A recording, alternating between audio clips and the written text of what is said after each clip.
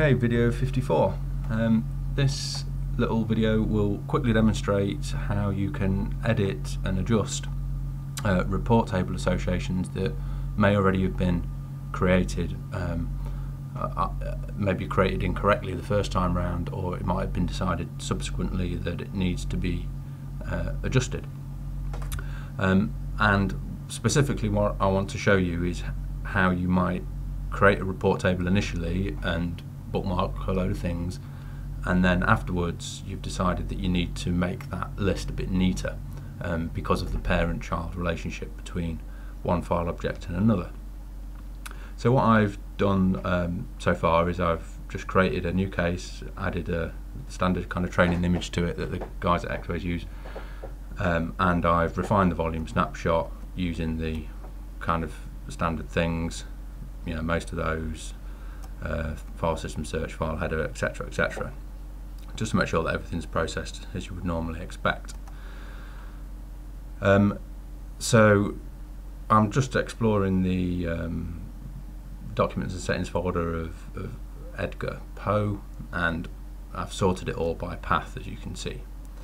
Uh, so it's all listed in that order. So let's say as part of your initial review you create a bookmark or a report table association as they're referred to in, uh, in X-Ways. So we right click a, a file, uh, this is the first time we're going to create a, a, report table and it comes up as follows. Um, so we click new, call it initial one, whatever you might decide to call it, defaults with the usual control one keyboard shortcut and it says for selected item and that makes perfect sense because by and large you're only going to want to have the selected item uh, bookmarked to use that common phrase. Um, so let's say now my review has begun and I want to start saving bits and pieces that I find. Uh, so I've decided that I want that one so I'm going to uh, control one for that so that's been bookmarked and I want that. So that's bookmarked because both of these little pictures are of relevance uh, to what I'm doing. Uh, and this PowerPoint presentation, uh, I want that, that's all really interesting.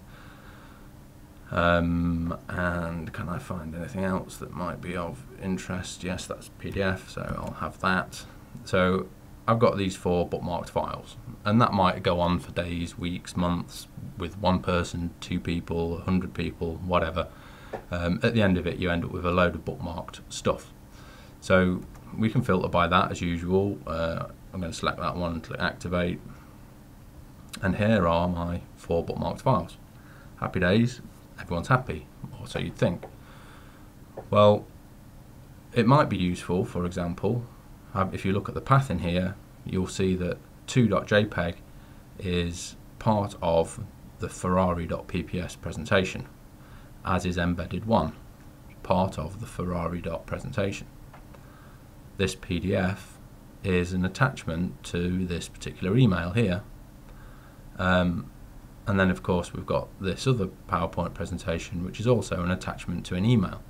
So after this initial review for interesting bits and pieces, um, it might make more sense to present that information in the context, the fuller context, i.e., uh, this PowerPoint presentation was attached to the following email, um, and these pictures were part of the following uh, PowerPoint presentation, which was part of the following email. Um, but you're thinking to yourself, well, I've already bookmarked it all now, I can't possibly go and change it all. Well, good news is you can. To simply adjust the existing report table, right click any file and choose report table association and highlight the one you need to change. And in this case, all we want to do is now change it to parent file. Um, and you can either leave selected item on or off. So now what it is, we're now changing its behavior so that whenever this bookmark or report table is initiated, it will add the selected file and its parent file. Now the reason that I don't generally recommend that you put that on from the start is if you're having someone review all this information who might not be of a technically minded inclination, you might find that just because they found one email in a 10 gigabyte PST cabinet, with that ticked by default, they will bookmark the entire 10 gig PST cabinet as well as the individual email which they've just highlighted as been relevant. And so then you end up with a massive uh, wave of uh, data in your in your report table, uh, which when it comes to exporting or reporting on, uh, could present you with a problem. So by doing it this way, i.e., selected item initially, and then afterwards, uh, as part of a refinement process, change the behavior to the, include the parent file, then we can more neatly uh, change things. So now what I'll do is for all of these files, I'll just select them all in this case because I know that there's got not going to be anything drastic happen um, as a result of it, but you might prefer to do it one at a time. Um, I'm now going to press Control and 1 again, and uh, seemingly nothing has happened uh, because these were already bookmarked. But if I now simply refresh the list, bearing in mind i have got the filter on for report tables, if I now refresh that, you'll now notice that the list has pretty much doubled. So we've still got the two individual JPEGs there, but we've now got its parent, which is Ferrari.pps. Uh, this particular PDF should have the email for it, which it has. So there's the email and there's the PDF, uh, not sure how to pronounce that, natchwist.pdf. So there are the two files in isolation now. And then you've got this presentation, which was an attachment to the Three Wise Women email. So now it all kind of marries up. And you might say, well, I want to go a step further. Um, if I can find an example. Um, maybe I can't in this particular example.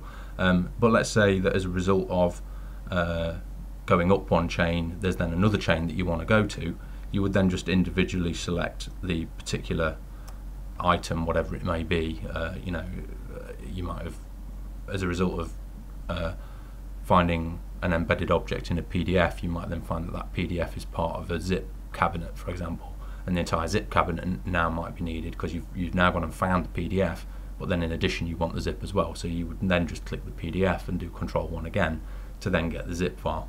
And on and on you go until ultimately you get to the top of the tree for any particular chain. Um, anyway, so that's it, as simple as that. You can quite easily change the behavior and, and get it all uh, end up finding all the files that you want in the same uh, kind of group.